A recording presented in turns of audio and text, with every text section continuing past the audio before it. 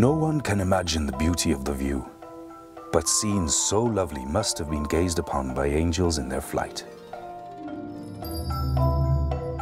With these words, David Livingstone first brought this great waterfall to the attention of the world.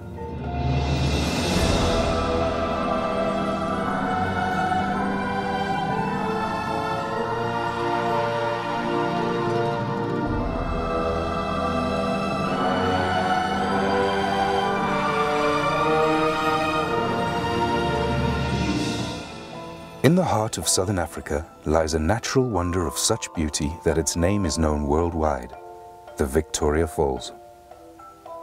From the ground, they are impossible to comprehend. Only from the air can they be seen and appreciated in their entirety. Welcome to your flight of angels.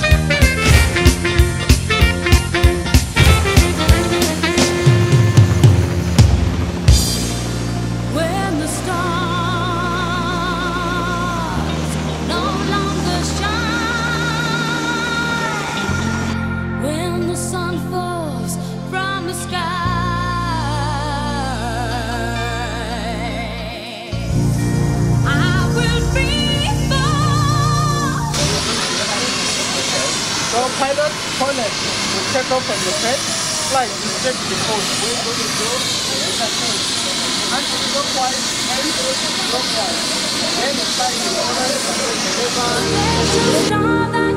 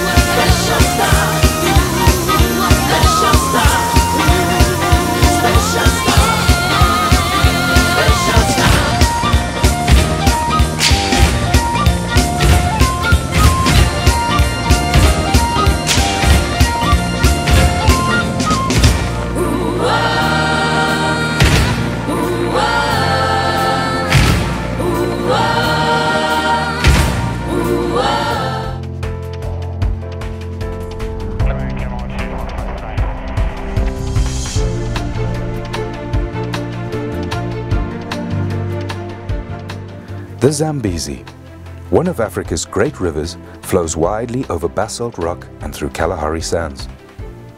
Nearly halfway along its epic journey from source to sea, the river is broad and wide. Annual rains bring life to the dry bush and swell the river. The Deepwater Channel marks the border between Zimbabwe to the south and Zambia to the north. Islands scatter the surface, offering safe sanctuaries for the wealth of wildlife that live along its margins. Suddenly, without warning, the Zambezi disappears. Its waters swallowed up into the depths of the Victoria Falls. Clouds of billowing spray are forced upwards, rising up to 900 meters into the air before falling as rain. Nearly two kilometers wide, the falls form the widest and largest sheet of falling water in the world.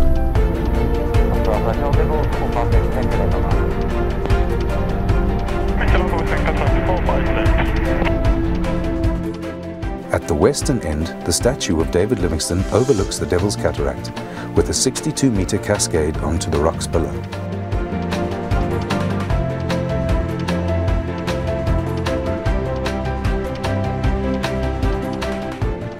Cataract Island is the first of two islands which break the line of the falls. It is followed by the main falls, one of the most picturesque sections of the waterfall, and which carries a substantial volume of water all year round.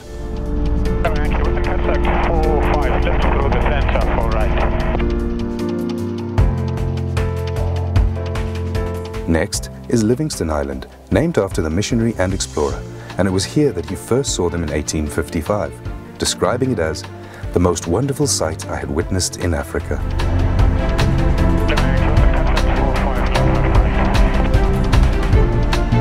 From Livingstone Island to the Eastern Cataract runs the longest stretch of unbroken fall line. It is along this section that the falls are at their deepest, plummeting 108 meters. During the low water season, they become almost completely dry of water, exposing the bare rock of the gorge. At high water, huge volumes of water tumble into the void.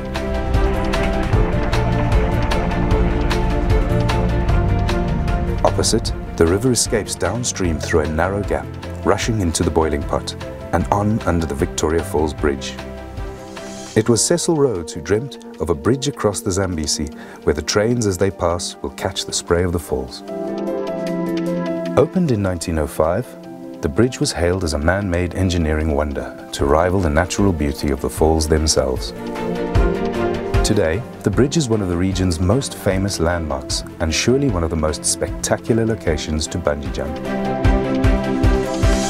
Below the bridge, the river races on through the Batoka Gorge, its waters trapped within the narrow walls of rock which run for some 120 kilometers downstream.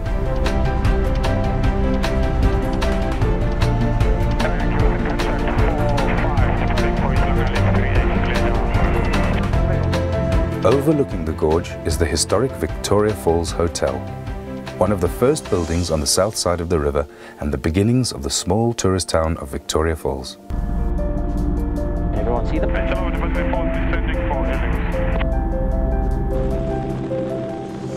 Ladies and gentlemen, we are now approaching the helipad.